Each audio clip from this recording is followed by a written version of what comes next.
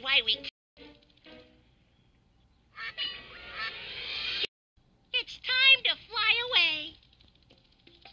Goodbye, dragon.